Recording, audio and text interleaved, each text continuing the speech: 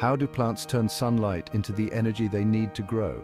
The answer lies in a remarkable process called photosynthesis, a process that not only sustains plants but also supports life on Earth. Photosynthesis begins in the chloroplasts, tiny structures inside plant cells. These chloroplasts contain a green pigment called chlorophyll, which captures light energy from the sun. This energy is essential for powering the next steps in the process. When sunlight hits the chlorophyll, it excites the electrons within the pigment. These high-energy electrons then move through a series of proteins embedded in the thylakoid membrane, a part of the chloroplast.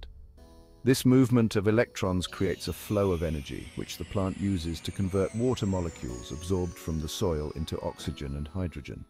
In the Calvin cycle, the plant takes in carbon dioxide from the air. Using the energy stored from the light reactions, the plant combines carbon dioxide with the hydrogen to produce glucose, a simple sugar.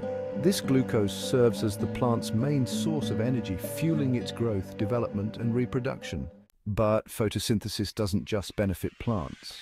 The oxygen it releases is vital for most life forms on Earth, and the glucose produced is the foundation of the food chain. Every bite of food we eat, directly or indirectly, relies on photosynthesis. In essence, photosynthesis is nature's way of turning light into life. It's a complex but incredibly efficient system that has allowed life on Earth to thrive for billions of years. Want to explore more amazing processes in nature? Subscribe to AI Explains It All and let us know in the comments what you'd like to learn about next.